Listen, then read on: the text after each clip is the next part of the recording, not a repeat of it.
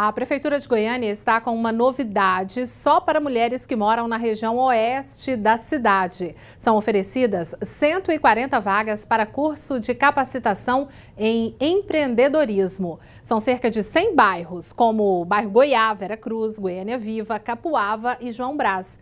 As aulas vão acontecer no dia 28 de março, próxima quinta-feira agora, em duas turmas, pela manhã ou então à tarde. A ideia é que essas mulheres recebam informações sobre planejamento estratégico e que possam administrar melhor o que já desenvolvem ou então que tenham noções de como é abrir mesmo um negócio próprio. É tudo muito prático, simples e de fácil entendimento. A inscrição deve ser feita no CRAS do Jardim do Cerrado 3, na Associação de Moradores do Vera Cruz ou então pelo telefone da Secretaria de Desenvolvimento Tecnológico.